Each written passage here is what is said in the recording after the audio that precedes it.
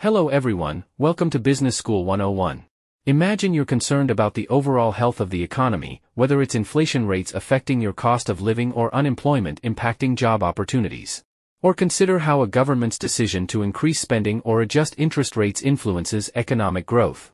These broader economic issues are the focus of macroeconomics, which helps us understand how the economy functions on a large scale. So, what exactly is macroeconomics? What core topics does it cover? Why is it important to study? What skills will you develop? In this video, I'll address these questions with you.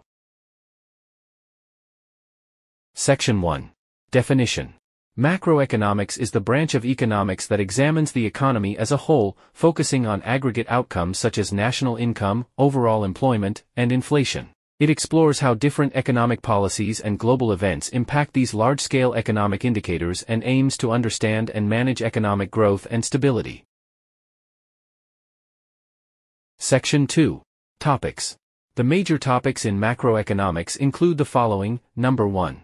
Gross Domestic Product, GDP. GDP measures the total value of all goods and services produced in an economy over a specific period. It provides a snapshot of economic performance and growth, helping to assess whether the economy is expanding or contracting.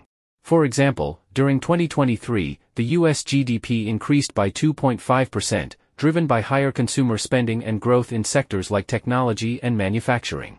This growth reflects an overall expansion in economic activity. Number 2. Inflation. Inflation refers to the general increase in prices over time, eroding purchasing power. Macroeconomics examines causes of inflation, its impact on the economy, and measures to control it, such as monetary policy adjustments.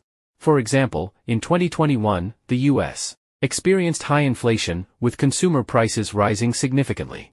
Grocery prices surged due to disruptions in supply chains and increased demand, impacting household budgets. Number 3. Unemployment. Unemployment rates indicate the proportion of the labor force that is jobless and actively seeking employment. Understanding the types and causes of unemployment helps in designing policies to improve job creation and economic stability. For example, during the COVID-19 pandemic, the U.S. unemployment rate spiked to 14.8% in April 2020 as businesses closed or scaled down, leading to massive job losses and economic uncertainty. Number 4. Monetary and fiscal policy.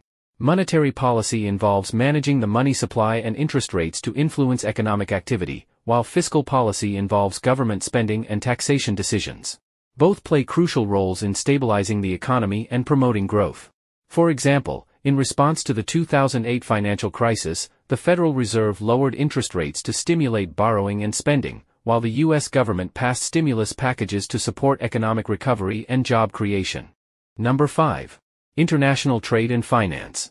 This topic explores how trade balances, exchange rates, and global economic conditions impact national economies.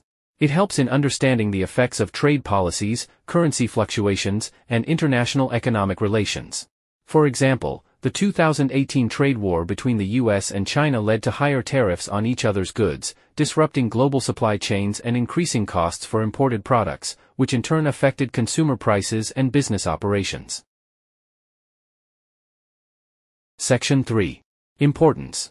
Learning macroeconomics is crucial for the following reasons. Number 1.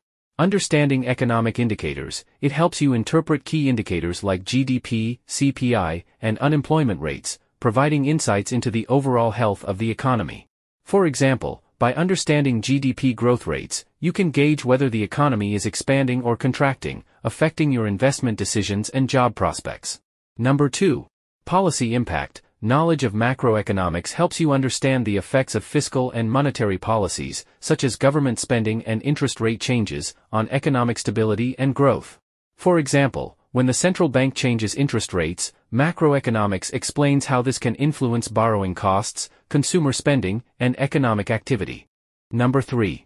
Global Economic Insights It provides insights into how global events and international trade affect national economies, including issues like exchange rates and trade balances. For example, understanding how changes in global oil prices impact your country's economy helps you anticipate inflationary pressures and adjustments in economic policy. Number 4. Economic Forecasting It develops skills for predicting future economic trends and preparing for economic shifts, helping you make informed decisions in personal finance and business. For example, by analyzing economic forecasts, businesses can plan for potential recessions or booms, adjusting their strategies accordingly. Number 5. Economic management. For policymakers, macroeconomics offers tools for designing effective policies to manage economic growth and stability, addressing issues like unemployment and inflation. For example, government policies to combat inflation or stimulate growth are based on macroeconomic analysis, aiming to stabilize the economy and improve living standards. Section 4. Core Skills. To learn macroeconomics effectively, several key skills are essential. Number 1. Analytical skills. Macroeconomics requires analyzing large-scale economic data and understanding the relationships between economic indicators, such as how changes in GDP affect inflation and employment. Number 2.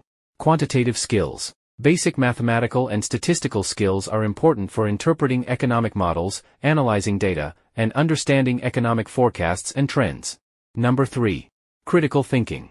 The ability to evaluate economic policies and their impacts on the broader economy is crucial. Critical thinking helps in assessing the effectiveness of different economic strategies and policies.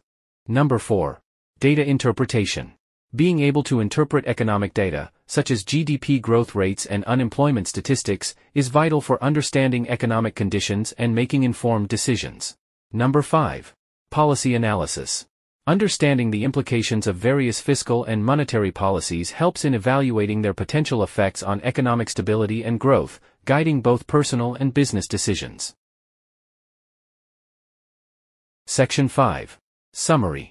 To sum up, macroeconomics studies the economy as a whole, focusing on aggregate indicators like GDP, inflation, and unemployment.